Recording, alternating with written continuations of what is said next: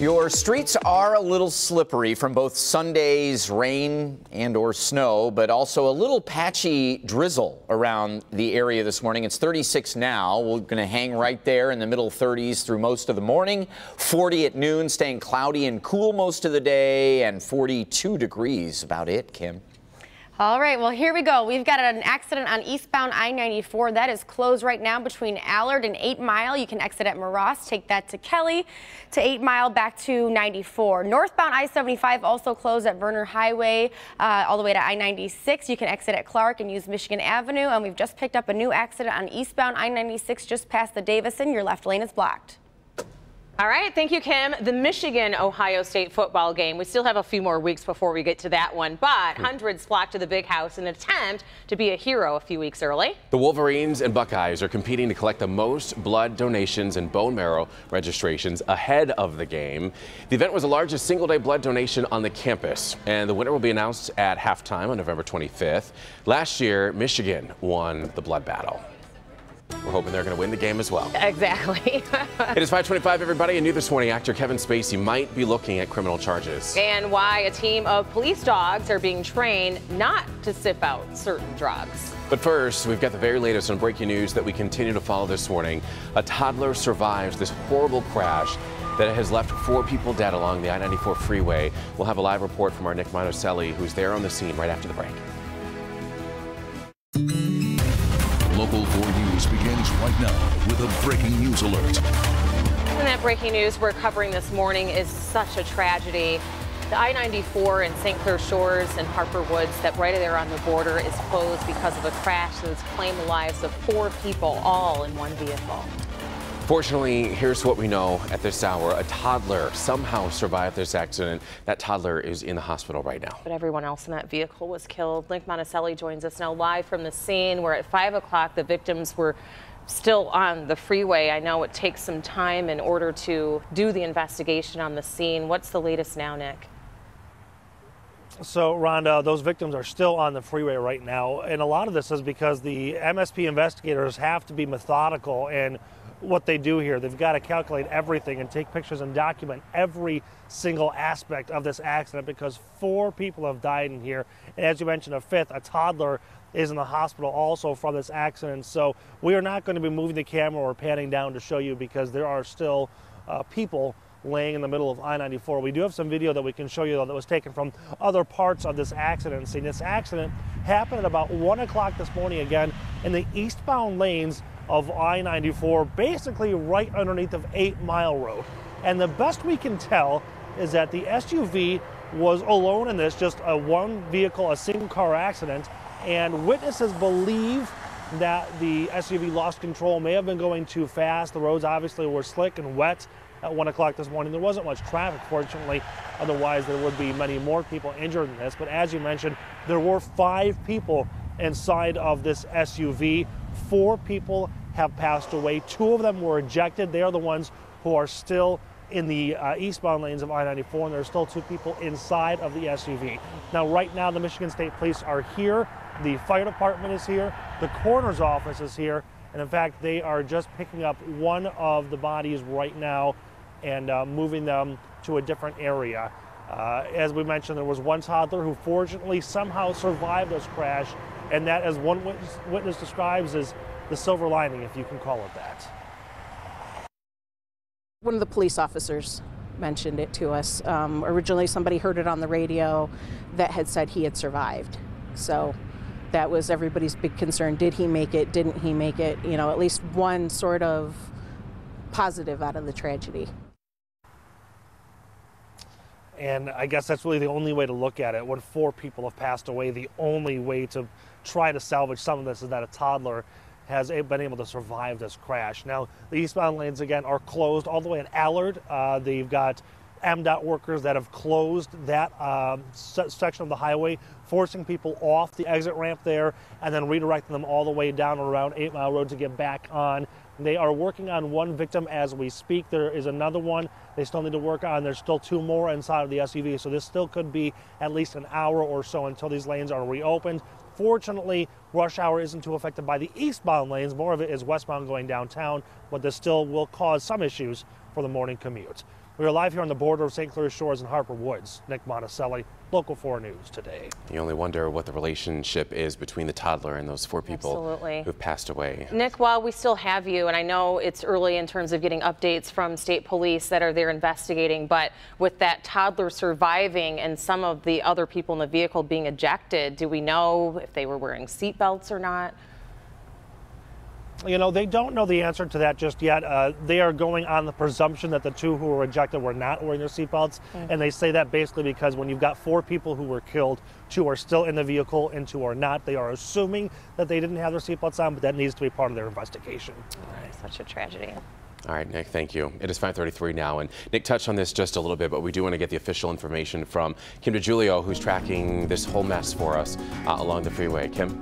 All right, thank you, Evrod, and thank you for that report, Nick. Here is a look of what we're dealing with right now over on eastbound I-94. As you can see, that all lanes are closed right at Allard. This is the traffic that is being forced off onto Moross. So if you are traveling this way, you will exit on Moross, take that to Kelly. Kelly will take you to 8 Mile, and you'll be able to get back onto eastbound I-94 and get you to where you need to be this morning. The bad news is, is that we have other closures out there that we're dealing with this morning as well. This is northbound I-75. This is also closed because uh, right at Vernor uh, because of another accident. So in the meantime, if you do travel this way, you're going to want to exit at Clark, and then you can use Michigan Avenue instead. And then that's not all. We do have another accident over on the eastbound lanes of I-96, just past the Davison here. The left lane is blocked. Still very early, so we're not seeing big backups in these areas. But as it gets uh, a little bit later in the morning, uh, those traffic volumes will start to build. So if you're if this is part of your morning commute, any of these three accidents, make sure you give yourself plenty of extra time this morning and be careful of those wet roads out there. Now, Brandon has a look at today's forecast. Yeah, Kim, that uh, 96 uh, area with the S curve and roads are a little bit slippery. Just be extra cautious. 36 degrees alive. Look here from Mount Clemens, and streets are a little slippery here. Northwest winds at 6, but currently really not seeing a lot of precipitation coming down by midnight. Most of it moving east. We're stuck with some low clouds producing a little bit of mist. So that drizzle drying out by 8, 9 o'clock. And for the day, we expect more cloud cover through the lunch hour, early afternoon, some peaks of sun later in the day, but mid 30s at 8 a.m. to around 40 degrees at noon and a high of 42 on your Monday. It's lighter winds, but a little gloomy looking anyway out there for a Monday. Wish we could be a little bit brighter. We do see some sunshine coming back at us. A couple of uh, days in the seven day, guys. We'll have more on that starting to warm us up a little coming up. Alrighty, Brandon, thank you. It is 535 now, and police are continuing to search for two missing 16-year-olds. Lillian, Lillian Nguyen and Timothy Weber are believed to be traveling together. Nguyen was last seen at her home in Canton, while Timothy was last seen at his home in Plymouth. It's believed the pair might have used an ATM in Rossford, Ohio, just outside of Toledo around 11 last night. Police say they might be traveling in a gray 2017 Jeep Wrangler, and if you know where they could be or if you recognize them, please give police a call. Two people are recovering this morning after a fire ripped right through their Farmington Hills home. This fire started Sunday morning on Quaker Valley Lane near Farmington Road on I-696. The victims were overcome by smoke and had to be taken to the hospital for smoke inhalation treatment. Thankfully, both are expected to be okay. The cause of that fire is still under investigation, but the house has been deemed a total loss, and investigators believe their efforts were hindered by the distance between the home and a fire hydrant. The First Baptist Church in Sutherland Springs, Texas has reopened. And the building has since been transformed. There you see a picture from inside. The church held services one week after Devin Kelley opened fire, taking the lives of 26 people. The service was held in a tent a few blocks from the church building, which has been transformed into a memorial. The inside of the church has been painted white, and there are 26 empty chairs, each with a single red rose showing where each of the victims were found. Worshippers who were moved by the tragedy say that they will focus on their faith. There's a greater God that we serve. Uh, we lean on Him. We don't lean on our own understanding, as the Bible teaches us, um, that something good will come out of this. Earlier, the church pastor, Frank Pomeroy, stated that the church would be torn down and another would be built on a neighboring area of the property. Today, the associate pastor says that church members will decide on what to do in the coming weeks with that property. It is 537, everybody, and there were some scary moments for Carrie Underwood over the weekend. Just ahead, we'll tell you why the country music star was rushed to the hospital. Plus this. You don't want to let yourself believe, you know, I am, I am, I am a victim of, of sexual abuse. Like, it's really not an easy thing to let yourself believe that. That is U.S. Olympic star Aly Raisman, and she's admitting that she was too treated and allegedly sexually abused by Dr. Larry Nassar. Her full story at 6. And next at 5, the drug that crime fighting dogs are being trained not to sniff out. We're back in a minute. The veterans. Welcome back, everyone. It is 541, and according to reports, a Massachusetts district attorney plans to meet with a teen who accused actor Kevin Spacey of committing sexual assault at a Nantucket restaurant last year. The alleged assault involves the 19-year-old son of a former Boston news anchor. And according to the teen's mother, that former Boston news anchor and her son were, was working as a busboy at a restaurant when she says Kevin Spacey gave her son several drinks and touched him inappropriately. Now, that teen has not been publicly identified, but the mother says a police report has been filed and there's a criminal investigation underway. Survivors of sexual harassment, assault, and abuse took part in a hashtag MeToo march and rally on Sunday in Hollywood, California. Hundreds of people marched up Hollywood Boulevard carrying signs and chanting. Many of those marching say that they are victims of sexual harassment and abuse. And speakers at the rally urged women to speak up and called on corporations to do the right thing regarding sexual harassment and equal pay. The Charles M. Schulz Museum reopened on Sunday in California. This after wildfires forced it to shut down. The museum that exhibits the works of the man behind the Peanuts cartoon had Snoopy and Charlie Brown on hand to join in the celebration. The museum held a grand reopening with professional photographers on hand who took photos of fans to replace those lost in the wildfires. One police department in Colorado getting ready to retire its old police dog to make room for a new breed of drug dogs that will not sniff out marijuana this go round. Officer Gary Duncan and his partner Tulo from the Rifle Police Department have spent 10 years fighting crime together. However, because of recreational marijuana being now legal in Colorado, they need new drug sniffing dogs. The department now has two new 12 week old puppies that will go through pretty intense training. We're just not going to train them on marijuana. They won't know the odor. We look for high strung, high energy dogs. They're going to be great. That's exactly the behaviors we'd be looking for. And don't worry about Tulo. He is not the top dog for drug enforcement anymore, but he's still going to help the new pups with this transition. It's expected to take about a year to get those dogs up to speed. Turning to good health now, combining two heart-healthy diets can significantly lower blood pressure in adults with hypertension. Researchers assessed the effects of a, low-sodium diet along with the DASH diet, which is rich in vegetables, whole grains, fish, and poultry. Both diets reduce high blood pressure, but the combination of those diets was especially effective. Well, we know that the winter months are coming. We've had a cold snap already, and one Detroit organization is hoping to bring awareness to the homelessness problem. It's called Enjoy Detroit, and this nonprofit is taking part in the 48-hour homeless challenge, staking out downtown Detroit to bring awareness to those in need. The group is asking for donations of coats, gloves, and food. So, Brandon, we already had our taste of the teens and 20s. How are we looking for this week? Yeah, they're lucky it is not this time last week when we had some single digit wind chills, teens wind chills.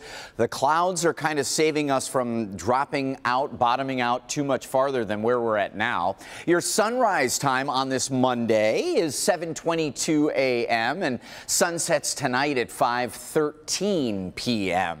Here's a look at your right now numbers up in our north zone areas along and north of M59, 33 at Oxford, 33 in Emmett. It is 30 33 in Sandusky and Marlette, 33 in Holly, Brighton, Linden, all right there. It's a little bit warmer here when you get into the metro zone, even uh, parts of the west zone like Ann Arbor at 34, Manchester 34, 37 in Monroe right now. We'll see middle 30s through the 8 o'clock hour. Also, these low clouds trying to squeeze out a little bit of uh, mist and drizzle, but all it really does is make the roads continue to be uh, slippery even though that sentence didn't really make sense. You know, you're with me here. Cloudy skies through the lunch hour, 40 degrees, and drying out through the morning and afternoon. However, shaking the clouds is going to be a tall task today, staying mostly cloudy most of the day, 42 degrees.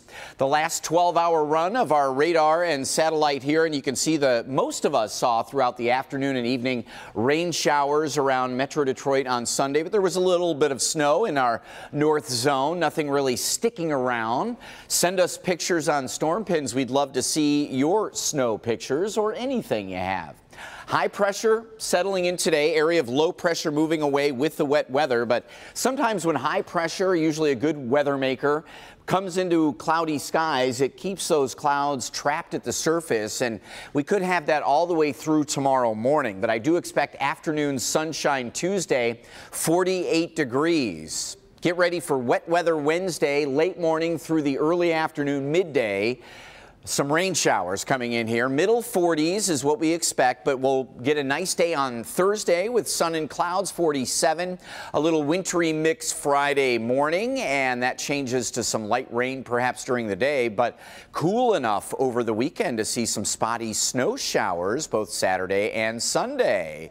It's time for the Beard Brella giveaway. It is the Beard of the Day giveaway for No Shave November. We want to see your pictures your scraggly beard, your playoff beard, your whatever it is, beard, getting ready for the winter, share with us on the Local 4 Facebook page and Local 4 Storm Pins. I want to get a Storm Pins winner on here, so send us those pictures. We'll reveal that later in the show this morning. A $100 uh, Vortex Vent Shed Rain Umbrella. This thing is amazing. It will survive a nuclear war. Whoa. Well, I made that up, but it's pretty awesome. All right. Well, Brandon, your beard is coming in quite nicely as well. So uh, send in your pictures. We want to see your beard.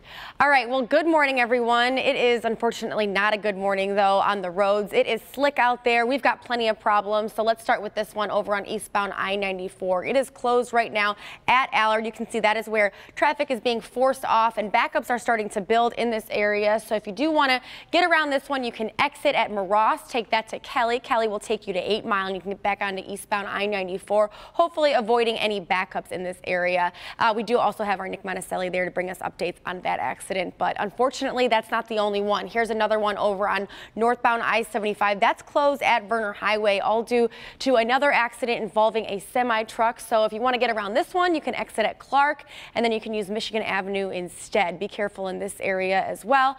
Uh, and then that's not all. We have an accident over on eastbound I-96 just past the Davison here. The left lane is blocked, so you can still get by here in this area. Expect a little bit of a slowdown and give yourself a few extra minutes for your morning commute if you travel on eastbound I-96. Guys, I'll keep a close eye on all three of these accidents and bring you an update in my next report. Evrod.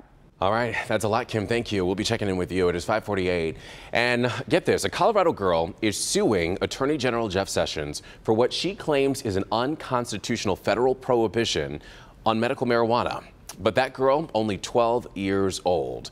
Her name is Alexis Bortel, and she uses a strain of cannabis oil called Haleigh's Hope to prevent seizures. She hopes that the lawsuit will normalize medical marijuana and legalize it nationwide. Time now for some stories that you may have missed over the weekend. Uh, starting with this one, this actually happened last night. An NFL referee uh, involved in a scary moment, knocked to the ground during the game on Sunday. It happened during the Broncos Patriots game in Denver during the third quarter. Denver's Jamal Carter slings Trevor Riley to the ground and whoa, just clips that referee and takes the legs right out from under him. Yeah, that ref's name is Jeff Rice. He fell and then hit his head. It bounced right on the ground. That ref, Rice, stayed down for several moments before he walked to the cart that was brought out for him. He was smiling laughing as he was taken off the field. So hopefully once he gets all checked out. Once he got all checked out last night, hopefully he's yeah. okay. But whenever you hit your head like that and you're not able to brace yourself, Yeah. there's always concerns of concussions. Even you know when you're thinking about the players, what that could have happened. So hopefully he will be okay. And now to another fall, this time with country music star Carrie Underwood. She actually had to be hospitalized over the weekend after taking a pretty nasty fall on the steps outside of her home. Yes, this happened right at her house in Nashville on Friday. Underwood suffered a broken wrist, several cuts and bruises, but she is expected to be okay. She just needs some time to heal.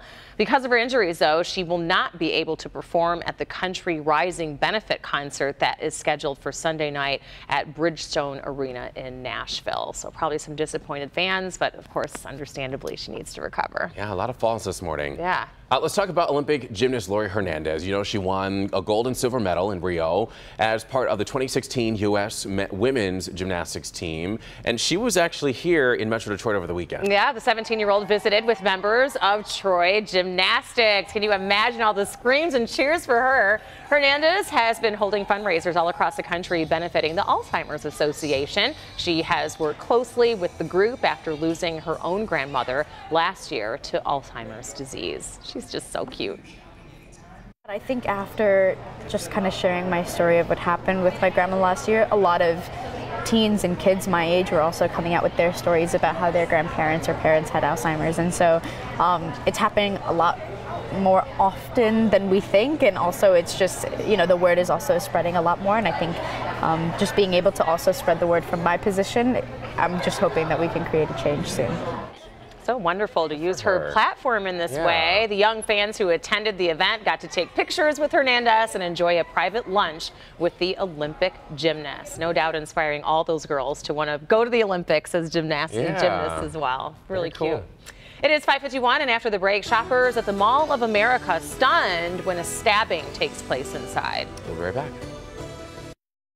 On the next Live in the D, snacks that will make your kids smarter. Plus, the holiday survival guide to help you get through the season. Today at 10 a.m. on Local 4. Tonight at 10.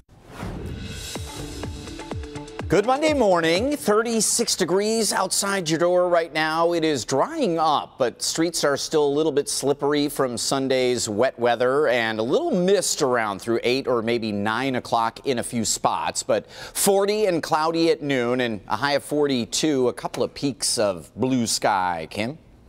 All right, guys, roads are bad right now. Eastbound I-94 closed at Allard. You can exit at Moross, take that to Kelly.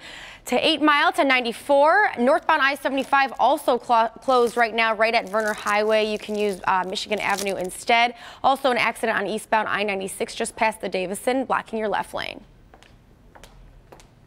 All right, Kim, thank you. A suspect is now in custody after a stabbing at the Mall of America in Minnesota on Sunday night. Bloomington police say that they arrested a man in the Macy's at the Mall of America. The stabbing occurring in the dressing room of the men's department. Police say that the suspect was attempting to steal another man's belongings. The family members were able to disarm the suspect, and officers arrived shortly after to take him into custody. Two adult males were taken to the hospital with non-life-threatening injuries.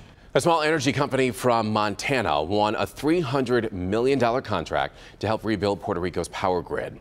The company is called Whitefish Energy Holdings, and it didn't even have enough employees to complete the job, so it had to hire several workers from Florida. And it's now billing the Puerto Rican Public Power Company $319 an hour for linemen, which is almost 17 times the average salary that linemen in Puerto Rico normally make. And, and in some cases, workers were making between 60 and 100 bucks an hour. A company spokesperson defended their bill, saying that the hourly rate doesn't take into, into account their overhead costs. It is 5:57 on your Monday morning, and coming up all new at 6 o'clock. Local stories for you from Detroit, Highland Township, and Canton. And how do you keep customers still coming in your brick and mortar stores? Walmart is using an interesting tactic to drive people in, charging more for its products online. Very interesting. And we're continuing to follow breaking news this morning from St. Clair Shores. Some tragic breaking news this morning. Four people killed in a crash along I 94, and all eastbound lanes are shut down. We're going to have a live report from our Nick Monacelli and traffic updates from Kim DeGiulio coming up in just a little bit. Battle of the Band. Local 4 News begins right now with a breaking news alert. I 94 is shut down after a deadly rollover that claimed several lives. Everyone inside the SUV was killed except a toddler. We're live from this horrible accident. And even more devastating news this morning an earthquake hits the Iran Iraq border. Hundreds are dead, thousands more are injured, and now search and rescue efforts are underway. But we do start this Monday morning with some very tragic news here at home. Thanks for waking up with us. We do want to catch you up to speed. Uh, it may impact your morning commute as you're heading out the doors. Absolutely. The eastbound lanes of I-94 are closed because of this accident investigation, this deadly crash that happened on the wet roads around 1 o'clock this morning. Nick Monacelli has been monitoring the investigation there. But Nick, I know the one thing we do know that there was only one survivor of the several people in this vehicle.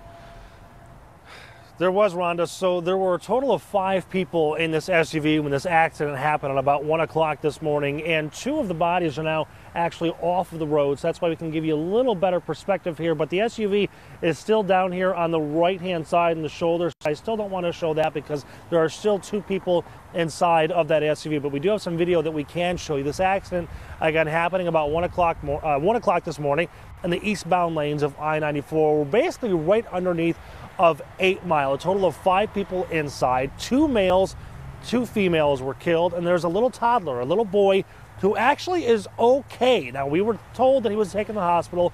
That was so he could be taken uh, or checked out. But the firefighter I just talked to said that when they were here earlier, that he just was walking down the highway when they got not walking on the highway, but they got him out of the car and he was able to walk on his own. So he was not anywhere nearly as injured as those who passed away, which is certainly a testament to the work that car seats are doing and how they can save lives in a situation like this. How this accident happened, MSP is still working on that, still trying to figure out exactly what happened. They believe that speed and the wet weather may have played a role in all of this, but they're still working on all of that right now. But there is something else to consider here. A woman who I talked to who lives just a couple blocks away says this stretch of road has always been a problem every couple of weeks there's there's sirens going down here. Um, and it always seems it's either right before the bridge over here or right here. Um, and i could tell you from experience people fly down this stretch going 80 miles an hour. Don't think about it. Um, the other issue is that on ramp right there people don't merge well. So it, this happens all the time now, that's not to say that is exactly what happened in this case, but it certainly might be a possibility. So, again, a total of five people in the SUV. Two males were ejected. They're the, they're the ones who were actually in the lanes of I 94. Two females are still in the SUV. They also passed away. And believe it or not, that toddler somehow escaped some major injuries. He was able to walk down the road with firefighters, um, you know, kind of hand in hand, unbelievably in a situation like this. Now, I 94 is closed. The eastbound lane starting at Allard. Kim DeGiulio back in the studio, keeping an eye on how to get around this one and how it's going to impact your morning commutes.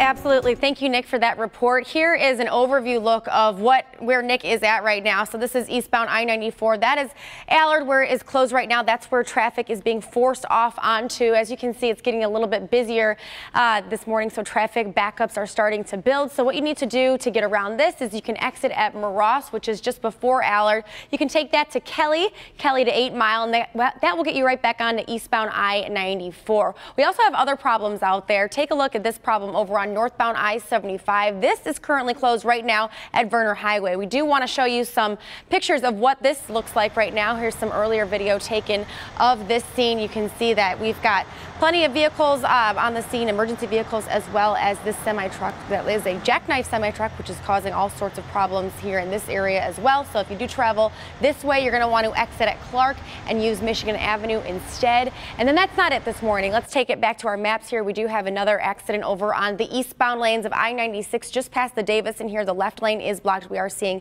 some delays there as well. So no matter where you're headed this morning, guys, be careful. The roads are slick this morning with all that rain we had yesterday. Guys, over to you.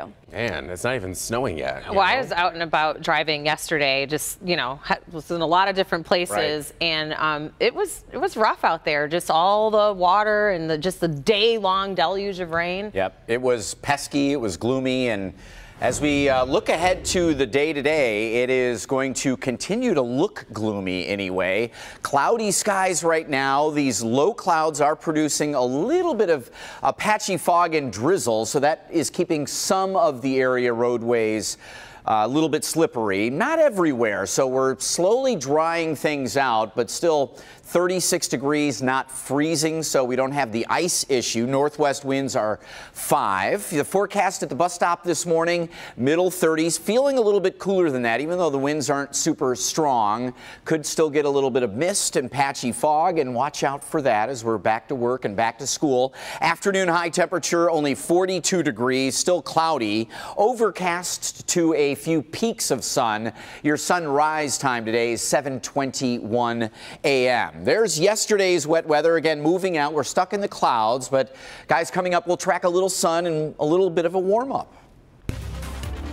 All righty, Brandon, we'll be checking back in with you. It is 6.05, and we want to get back to the breaking news that we're following in the Middle East. A massive earthquake at the Iran-Iraq border that has now claimed the lives of over 300 people. This is quite a tragedy there. NBC News has the current death toll at 330 people, with over 3,000 others injured, and we're hearing these numbers continue to increase throughout this morning after a magnitude 7.3 quake slammed the region on Sunday. The U.S. Geological Survey registered registered the quake at around 1 p.m. local time with tremors and aftershocks felt hundreds of miles away.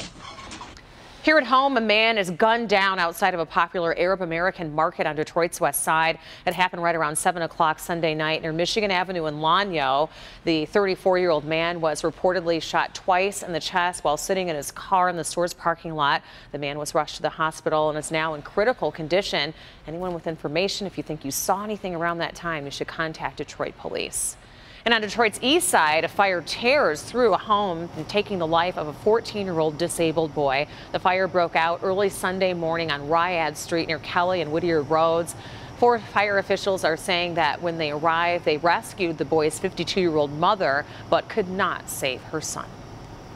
Well, I don't know how it was set up in the house, but yeah, yeah she couldn't get to him. So he was handicapped, and a school bus used to pick him up in the morning you know, you didn't see much of them. The fire investigators say that there was a hot plate in the boy's room, and it's believed that that was probably the source of the fire. In Highland Township now, a wild police chase ends with a suspected drunk driver crashing right into a mobile home with a 76-year-old woman inside. The driver rear-ended a deputy near a liquor store on Milford Road early Saturday and then took off eventually crashing into that mobile home, the one right there on your screen, moving the whole foundation several feet, in fact. The deputy found Yvonne Beach on the floor inside of the mobile home. The woman's knees could not believe her eyes.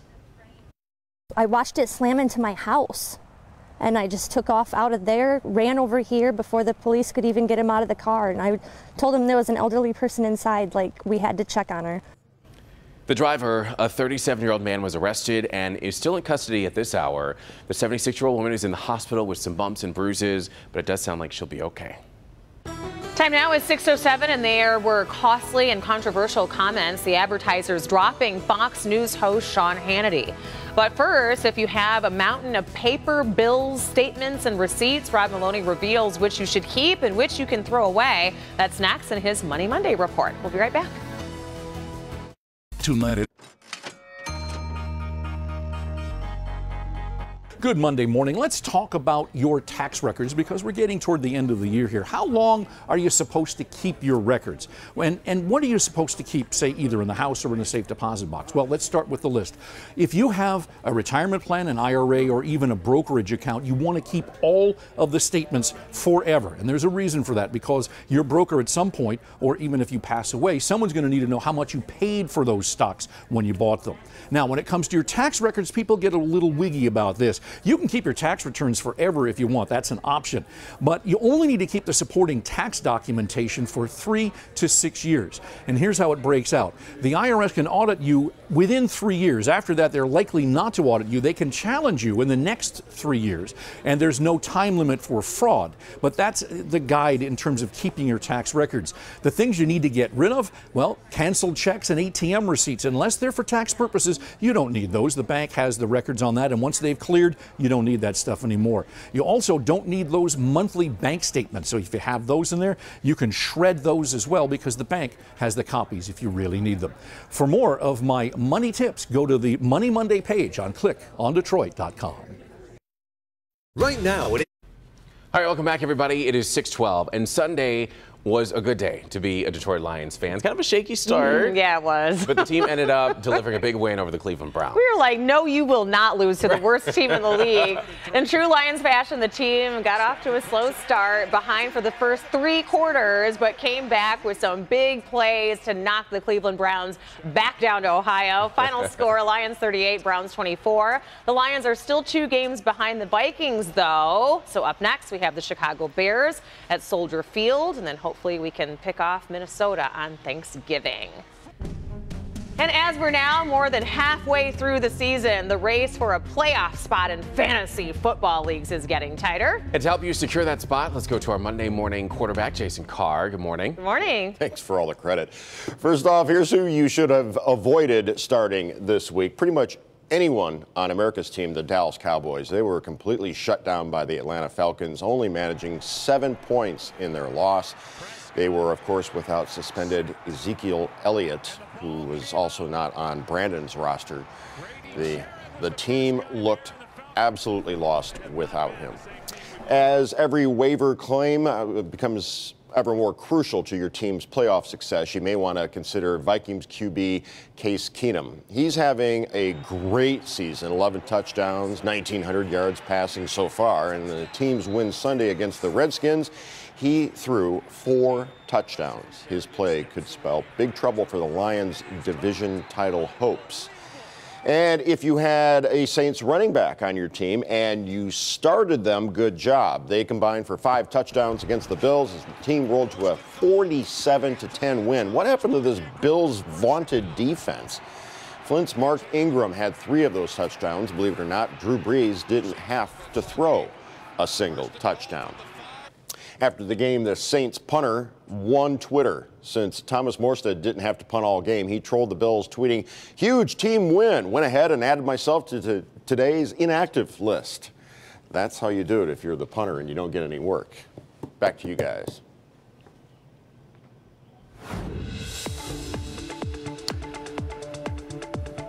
All right, all right. Let's uh, take a look at the current number out there. And Jason was right. I had Ezekiel Elliott. However, the guy I played had a bunch of Cowboys. And as Jason said, mistake, mistake. So I still have a chance if Jarvis Landry gets less than like eight or nine points tonight. So you're telling me one in a million? I've got a chance. Temp out there right now is 36. Northwest wind is 5, and that makes the feels like number 32. It feels freezing, essentially, and will through the morning. It's not a real strong wind today, but it is coming out of the northwest. It is a cooler air mass in play. A little bit of drizzle around now. Low clouds just trying to squeeze out what's left. Spotty drizzle drying out by 8 or 9 a.m. Clouds looming through the noon hour, 40 degrees, and overcast skies with a couple of peaks of sun through the afternoon, 42 degrees, a cloudy evening, 37, and the cloud cover will be the big variable overnight tonight into tomorrow.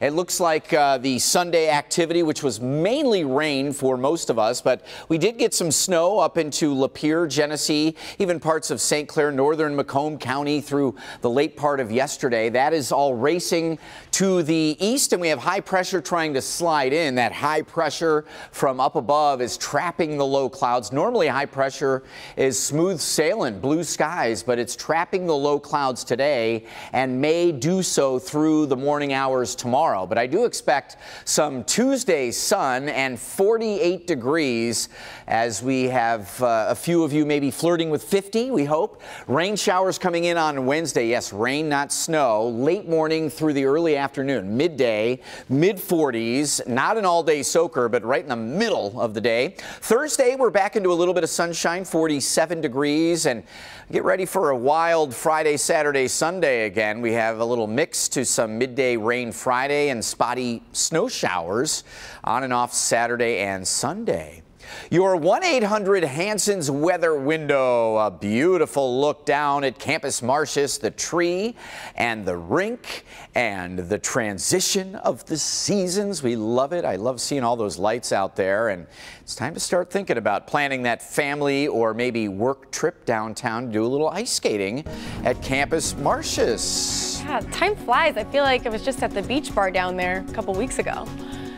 Oh, well, winter is here, everyone, which means that the roads are going to be a little tricky, and that is what we're dealing with today. We had all that rain yesterday. Roads are wet, so here's what we're dealing with. This tragic accident over on eastbound I-94 has 94 closed right at Allard right now. As you can see, all these flashing lights. Uh, traffic being forced off onto Allard, but in the meantime, you want to exit before that at Moross. You can take that to Kelly. Kelly will take you to 8 Mile, and you'll get back onto eastbound I-94. We do have our Nick Monacelli here at this scene bringing us updates on this accident. But that's not the only problem we're dealing with this morning. We also have a closure on northbound I-75 closed right now right at Vernor. This is involving a semi accident. It's going to take some time to clean this one up. Authorities are on the scene here as well. But in the meantime, if you do travel on northbound I-75, exit at Clark, and then you can take that to Michigan Avenue and travel that way instead. And that's not all. We also have this problem on eastbound I-96. An accident just past the Davison. The left lane is blocked. We have red on our map here showing that it is slow in that area. Give yourself some extra time. Now, despite all these problems, though, there are some areas that are looking good this morning. I want to show you that with our 1-800 call Sam Chopper shot.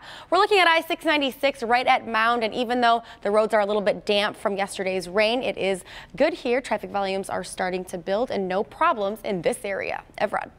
Well, certainly hope we keep it that way. We can't take another accident this morning. Kim, thank you. It is 618 now. Let's get into today's consumer headlines. We start with Walmart charging more online than its stores and in its stores. We'll uh, let uh, Maribel explain that one. Plus, dealerships have conjured a demon. But first, Fox News host Sean Hannity facing some fallout this morning. Maribel Aber joining us live now at NASDAQ. Let's start there. What's going on with him, Maribel? Hey, good morning, Evrod. Lots of news to get to. At least five companies in this story say they'll no longer advertise products on the Fox News show Hannity. This is according to USA Today. The ads were pulled in response to host Sean Hannity's coverage of the sexual misconduct allegations against Alabama Senate Senate candidate Roy Moore. Keurig, uh, Realtor.com, and Nature's Bounty are among the companies that pulled ads from the show. The first Dodge Challenger Demons are on their way to dealers. The mega muscle cars, they're boasting 840 horsepower of Hemi V8 engines, but the model has drawn critics, with the automotive news calling for a ban of the vehicles from the streets. The trade publication called the car, quote, inherently dangerous to the common safety of motorists. During testing, the Demon covered a quarter mile in 9.6 seconds at speeds of 140 miles per hour. Walmart has raised prices on some online items in an effort to drive more people into its stores and then boost profits. The Wall Street Journal reports here the retailer has upped the price of some food and household items sold on its website. In one example, a twin pack of Betty Crocker hamburger helper was listed at $3.30 online, but then 80 cents cheaper in the store. Other items such as Kraft macaroni and cheese and Purina dog food were also higher online. A Walmart spokesperson said customers can still get the cheaper prices online when they choose to pick up the items in the store. But Evrod, it's interesting because really everyone wants things delivered and they want it delivered fast and cheaper. Yeah, I don't know if this is really going to be a win for Walmart, especially with big competitors like Target and, and uh, other ones. So Maribel, thank you for that. And Amazon. Yeah, exactly. You can get a lot of stuff for, yeah. for cheaper. 620 is your time. A college party takes a scary turn still ahead the moment a floor collapses, sending all the partygoers crashing below. But first, panic inside of a busy airport when a passenger's bag starts smoking. We've got new video that shows the quick actions from TSA agents. And before we go to break, it's time to meet today's Facebook friend for the day. We randomly pick this winner every single morning, and this entry is from all the way back in May. Oh, May, doesn't that sound like a good time? Yeah. I hope you're watching. If you remember sending this in, I hope you're watching Michael Shepard from Southfield. And Rhonda, he says he simply loves you. He simply says, Rhonda Walker rock. Doesn't she? Thank you, Michael, and congratulations. We're going to be sending you a $25 gift card to National Coney Island just for being our friend of the day and being so patient, waiting all these months to get your picture on the air. To all the rest of our friends out there, make sure you like the Local 4 Facebook page, click on the front of the day tab, and then watch us every morning. You may see your picture and win yourself something for free. We're back in a moment. Welcome back, everybody. An intense new video captures the panicked moments following a small explosion inside of the Orlando International Airport. So take a look at the pictures. The video captures a lithium battery exploding inside of one passenger's bag just outside of a security checkpoint. It happened on Friday. The explosion caused chaos inside of the airport, as you can imagine.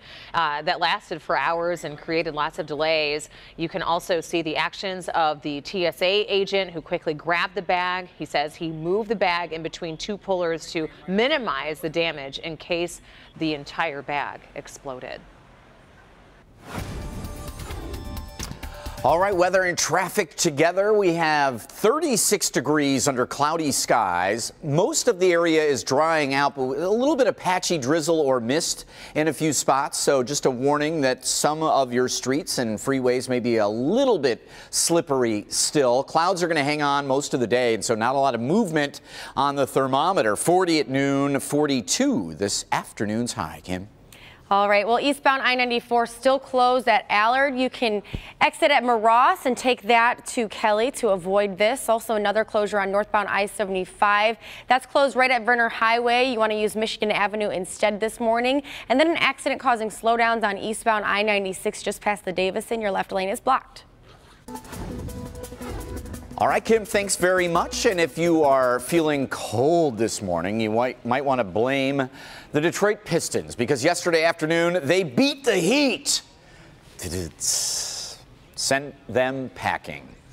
Uh, let's take you to Little Caesars Arena. And the Pistons came back from an 11 point deficit in the third to snag the win from the Miami Heat, rounding off a five game homestand with five wins. Final score Pistons 112.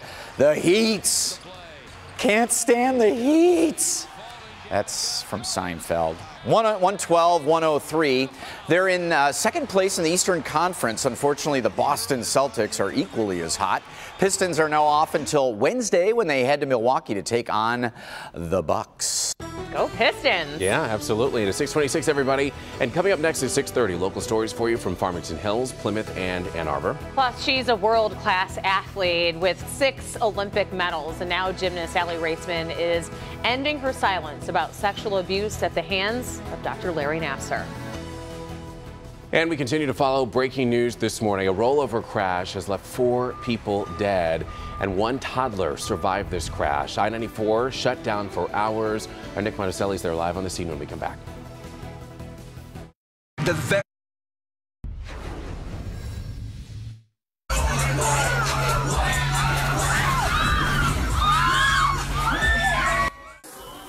Yikes. Today's top video actually comes from Denton, Texas. It was fun for a while, but the shocking video is of what what could have been a tragic end to this college party when the floor gave way, dropping some students into the room below. Pretty scary stuff there. It was reportedly a homecoming celebration at the University of North Texas, and witnesses say those at the party actually had been jumping up and down to that trap music when the floor crumbled. Luckily, there were only minor injuries. Wow. Pretty scary stuff. We're back in a minute. We're on a mission. Local 4 News begins right now with a breaking news alert. Some tragic breaking news this morning. Four people dead after an overnight crash. The only survivor is a toddler, a little boy.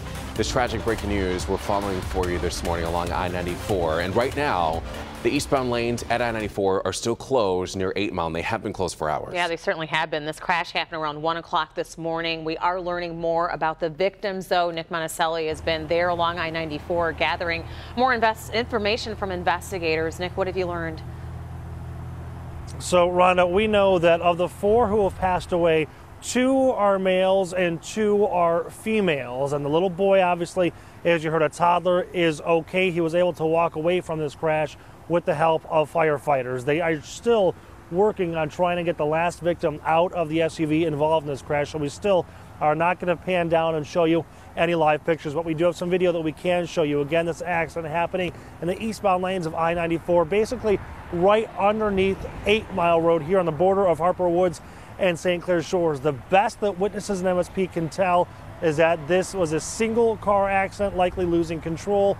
Hitting a wall, maybe even rolling over. The two people that were ejected from the vehicle are both males, presumably not wearing their seatbelts, and the two females were still inside the SUV. One was able to be removed about 20 minutes ago by firefighters, and they are still trying to get that other victim out of there right now. Again, they did have a toddler that was involved in this crash, but it's a testament to car seats in this case because four people died, but the toddler was able to walk away with the help of firefighters and witnesses who were here watching the entire thing said that was a breath of fresh air considering what's going on. One of the police officers mentioned it to us. Um, originally, somebody heard it on the radio that had said he had survived. So that was everybody's big concern. Did he make it? Didn't he make it? You know, at least one sort of positive out of the tragedy. And I guess that's really the only way you could look at this. When four people die instantly like this, at least there is some kind of positive that the toddler was able to survive this accident. Now, the same witness was telling us that this stretch of I 94 here is problematic because of the curves here, especially with the temperature dropping and the roads are getting wet and sometimes freezing in situations that they have accidents here all the time. And this will be con- a concern as we head into the winter months. That could be even the cause of this accident but the MSP investigators are still down there working piecing things together taking a lot of photographs trying to get all the evidence they can to bring in the reconstruction team and piece together exactly how this accident happened but again five people in this SUV it's a Dodge SUV I can't tell if it's maybe a Durango or a Nitro but five people inside four passed away and a toddler was able to survive we're live here on 8 Mile, basically the border of Harper Woods and St. Clair Shores. Nick Monacelli, Local 4 News today. And Nick, I guess a lot of people are wondering, this toddler survived. Does this toddler have any living family members? You said two males, two females. Do we know the ages? Is it the child's parents?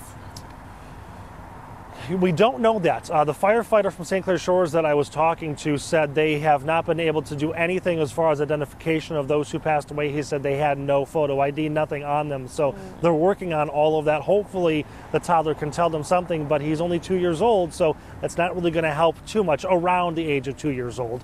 Uh, but again, no ID. Uh, we can't even find a license plate on this vehicle, so it's going to be very difficult for investigators to try to figure out who's involved. So tragic. Very, very sad. All right, Nick, thank you. And at 634, of course, uh, we do need to get around all this as investigators still continue to work. Let's turn things over to Kim DeGiulio, uh, tracking this accident and several others as well. That's right, guys. An absolutely tragic story here on eastbound I-94. You're looking at the closure right now. Traffic being forced off onto Allard, so traffic is uh, getting busier in this area as we approach that 7 o'clock hour. So what you need to do to get around this is you can exit at Moross. Moross will take you to Kelly, and then Kelly will take you to 8 Mile. You can easily get back onto eastbound I-94. That'll help you avoid any of the backups. We also want to let you know about another closure this morning. Trouble on northbound I-75 closed at Vernor Highway. We do have some earlier footage of what this scene looks at. This is, uh, as you can see here, quite the mess. It is a jackknife semi, and that is going to be closed for quite some time as uh, crews are on the scene working to clean this up. So in the meantime, if you do travel over on northbound I-75, instead this morning you're going to want to exit at Clark and then use Michigan Avenue instead. Now let's take a look at our maps to show you another problem we have over on westbound I-94 in the downtown area, just past the lodge here. We've got an accident blocking your left lane. So this is a good indication to show you how many, uh, how bad the roads are this morning because of those slick roads. So no matter where you're headed this morning, just be careful and take it easy out there. Now Brandon has a look at the forecast. Is it still going to rain today at all? Uh, you know, we're looking at spotty drizzle, mist, fog kind of stuff. So it is not not wet everywhere, but a lot of folks are still seeing the residual low clouds just dripping a little bit. 36 degrees at Metro Airport in our metro zone. This bottom line represents visibility as we watch out for fog, but three to five mile visibility is actually pretty decent. Ann Arbor at 34. It's 33 in Pontiac, 34 in Adrian. Clouds are going to linger here. They fog and mist by 8, 9 o'clock starting to move on. Everything moving east except the clouds just stuck here. 40 degrees at noon and only 42 for a high temperature. If we're able to strip the cloud cover, we'd certainly be able to warm up, but that is not necessarily the case today and maybe even overnight into early tomorrow. But Evrod and Rhonda, I do have some sunshine coming your way a few times in the seven day, and it will have a nice impact on temps coming up. Well, all right, we'll take that. We certainly will. Let's get to some stories that are making headlines across the Metro Detroit area for you this morning. We're going to take a look at Plymouth, Canton, Farmington Hills, and Ann Arbor. But we do want to start in Pittsfield Township this morning because that's where charges could be handed down today, in fact, after the deadly shooting of a woman in the parking lot of an apartment complex. Investigators are saying that they received a call of shots fired at the complex on Sparrowwood Drive, just east of US 23, just after 1130 Saturday night. And once they got there, they discovered a 27 year old woman was allegedly shot by her girlfriend. Police say the girlfriend was the one who called to report the shooting, and she is in custody this morning. We do expect to learn more about the case once charges are filed. Meanwhile, families in two different Wayne County communities are still searching for these two missing teenagers, 16 year olds.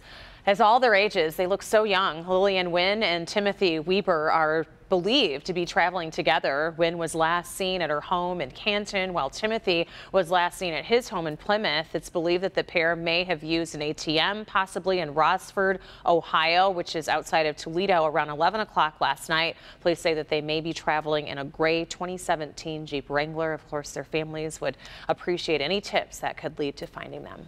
And over to Farmington Hills now, where an investigation continues after two people are hospitalized when a fire tore right through their home. That fire started just after 9:30. This was Sunday morning on Quaker Valley Lane near Farmington Road and I-696. Both victims are being treated for smoke inhalation. Thankfully, though, they're expected to be okay. Investigators say the distance between the home and the fire hydrant hurt their efforts. And finally, over in Ann Arbor, we know the University of Michigan and Ohio State football game is still a couple weeks away. But on Sunday, hundreds flocked to the big house to attempt to be hero uh, a few weeks early. This is the Wolverines and Buckeyes competing to collect the most blood donations and bone marrow registrations ahead of the big game, something the two teams do annually, the two universities, I should say. The event is the largest single day blood donation on campus. The winner will be announced at halftime on November 25th. Last year, Michigan won the blood drive. As for football, the Buckeyes have won the last five straight. Hopefully, the Wolverines can snap that in the big house in a Yeah. couple of weeks. It would make a lot of Spartan fans happy because they Certainly beat us good yesterday. I'm Or, I mean, surprised you're even talking about it. I'm talking about I have to let it out. Yeah. Because it was It very was single digits for the Spartans, if I'm not mistaken. Yeah, and they had like 45 or Mm. 48 or something. It just, it was awful. Wow. It was a disaster. At least the Lions won, though, right? yes. 639, we can beat one Ohio team. 639 is your time now. Another Olympian has come forward in more serious yes, news this more morning. serious news indeed. Let's get over to Jason, who was following that story for us this morning. Coming up, gold medalist Aly Raisman details her alleged encounter with disgraced USA gymnastics doctor Larry Nassar, plus why she's now breaking her silence. And the fallout continues for actor Kevin Spacey, why he's now at the center of a criminal investigation. That's coming up next. And high school football playoffs are coming to an end. So who survived under the Friday Night Lights? For scores and highlights from our Four Frenzy Game of the Week, you can head to the Four Frenzy page of clickondetroit.com. We're back in a minute. Four friend. Welcome back, everybody. It is 642, and down in Sutherland Springs, Texas, people gathered for service at First Baptist Church just one week after Devin Patrick Kelley opened fire, killing 25 people and an unborn child. The service, however, was not held at the church. It was held in a tent just a few blocks from the church building, which has now been transformed into a memorial. You can see here the inside of the church has been painted white, and there are 26 empty chairs, each with a single red rose on it, showing where each of the victims were found. Worshippers who were moved by the tragedy say that they'll focus now on their faith. There's a greater God that we serve. Uh, we lean on Him. We don't lean on our own understanding, as the Bible teaches us. Um, that something good will come out of this. certainly gives you chills just looking at the inside of that building. Patrick, Pastor Frank Pomeroy originally wanted to tear down the building, but now he says the church members will decide what they're going to do with it in the coming weeks. President Trump met with controversial Philippine President Rodrigo Duterte, and that's happening today. The two leaders spoke briefly with reporters at the start of their meeting. He did not respond to shouted questions about whether he'd raise the issue of human rights abuses in the Philippines. Duarte has come under fierce criticism from human rights groups for overseeing a violent drug war that has killed thousands of people. Nevertheless, President Trump had warm words of praise for the Philippine leader. And actor Kevin Spacey is now under a criminal investigation after being accused of sexually assaulting a former news anchor's teenage son. Spacey allegedly gave the boy several alcoholic drinks and touched him inappropriately inside of a restaurant while the teen was working. The teen's identity has not been made public, but he has filed a police report. And survivors of sexual harassment and assault took part in a hashtag MeToo march in Hollywood, California over the weekend. Hundreds marched down Hollywood Boulevard carrying signs and chanting. Many of those marching say that they are victims of sexual assault and harassment. Women were urged to speak up and they called on corporations to do the right thing regarding sexual harassment and equal pay. It is 645 on your Monday morning and all weekend long.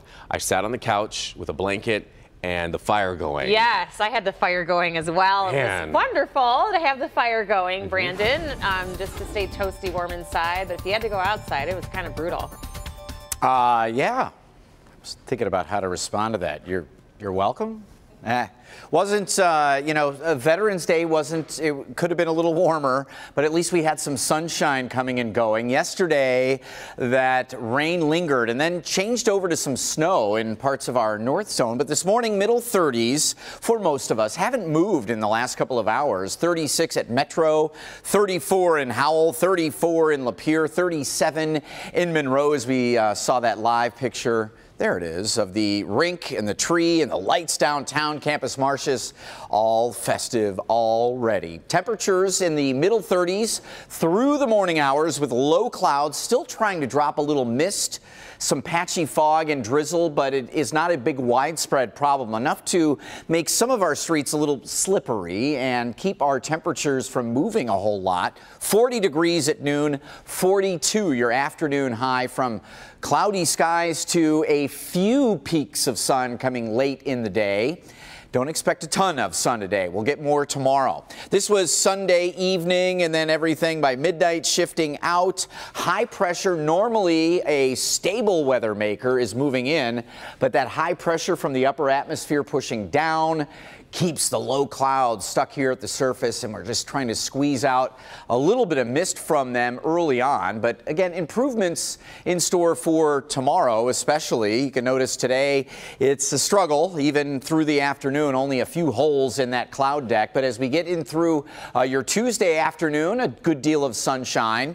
Although we need to get ready for some wet weather coming your way on Wednesday, probably late morning into the early afternoon, midday. Tomorrow with the sun, upper 40s, maybe a few of you near 50, a few degrees cooler with rain showers midday on Wednesday.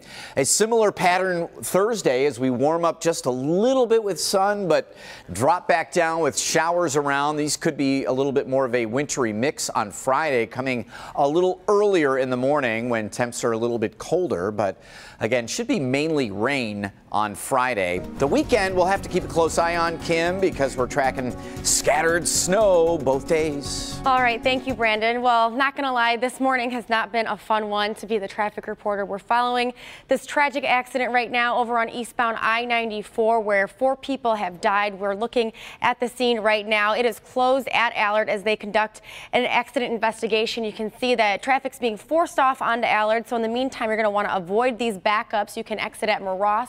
Take that to Kelly. Kelly will take you to 8 Mile, and then 8 Mile will get you right back onto eastbound I-94. You can get where you, you need to be on time.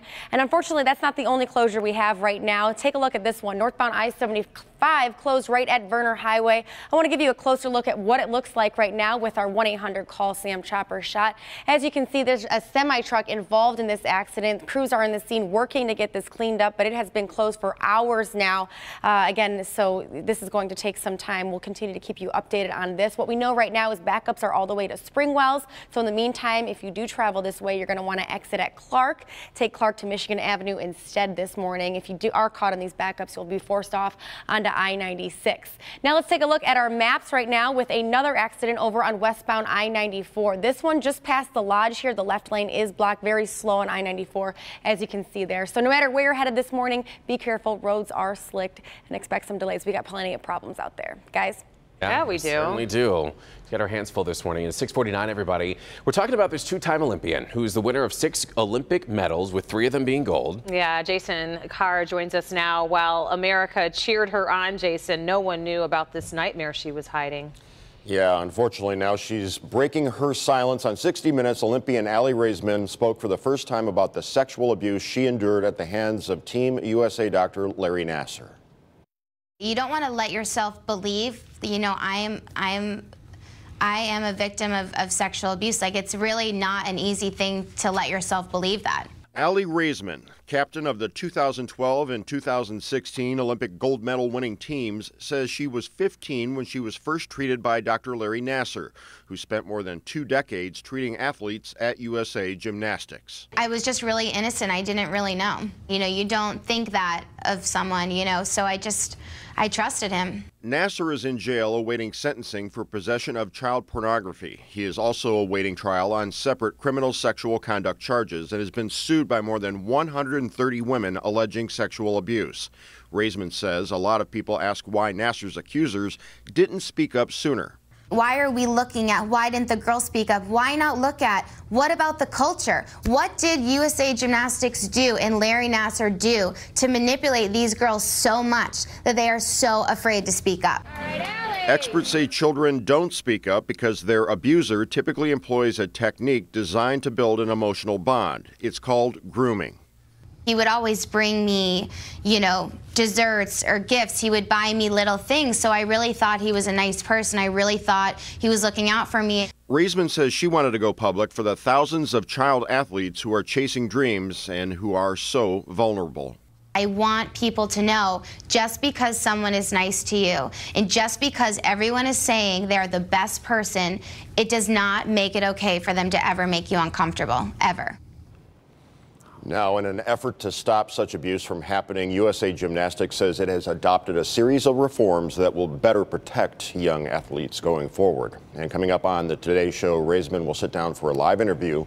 She'll talk about the sex abuse claims as well as her new book. Good for her. Boy, is that powerful. And we know you showed in your piece, Kayla Maroney, who was on the 2012 right. team, also came out on Twitter not that long ago saying the same thing happened to her. It's sort of unbelievable that, that we can have this dichotomy in our society where Nassar's behind bars, but now we have a, a Senate candidate down south who they say might actually win and survive this. So it's mm. it's amazing that you can have this both going on at the same time. Let us know what you think on social media. Sound off. Yeah. All right, Jason. Thank you. It is 6:51, and we'll be right back with today's stories to watch for. Keep it here. Sky. Oh, welcome back, everybody. Our breaking news we're following from overseas. The death toll continuing to rise after a magnitude 7.3 monster earthquake slams the Iran-Iraq border. Right now, NBC News is confirming at least 332 people are dead and nearly 4,000 more injured. And breaking news here at home, Michigan State Police investigating a deadly crash on eastbound I-94 near 8 Mile Road. And sadly, right now we've learned that four people involved in that crash have died. A toddler believed to be around two years old is the only survivor. Kim DeGiulio tracking this accident to help you get around it this morning, as well as a couple others. That's right. Here's a look at this accident from above. This is eastbound I-94 at Allard. Traffic is being forced off there, but to avoid these backups, what you can do is exit at Moross, take Moross to Kelly to 8 Mile. That'll get you back on eastbound I-94. We also have this over on northbound I-75 closed at Vernor Highway. Traffic being forced off onto I-96. So in the meantime, you can exit early at Clark and then use Michigan Avenue instead this morning. Now I want to show you an accident with our 1-800 call Sam Chopper shot. This is westbound I-94 just before I-96. You can see we've got an accident there on the tow truck, so that's the good news. Left lane is blocked though. Expect some delays. Brandon. All right, Kim, it is middle 30s, feeling like lower 30s, and low clouds producing a little bit of mist out there, perhaps keeping the uh, streets a little bit slippery. 42, that's it. We're going to be cloudy most of the day today, uh, maybe a couple of peaks of afternoon sun. And finally this morning, it's time to reveal today, today's Beard of the Day winner. And Yay, the winner who gets this beautiful umbrella. Who is it, Brandon? This is our first Storm Pins winner. It is Andrew Efford from Monroe, and he said he started the beard in October for hunting, but more importantly for the Houston Verlanders run. He's a huge uh, Houston fan, grew up in the Houston area, so he's an Astros fan. That was his playoff beard, and he says he loves the morning crew here on Aw. Local 4. And he well, says that they you. watch daily. Congratulations. Nice little salt and pepper look there. You're blocking my light, Brandon. There This is a nice umbrella. This is your $100 prize. umbrella you're getting from ShedRain. So Congrats. congrats. Have a good day, everybody.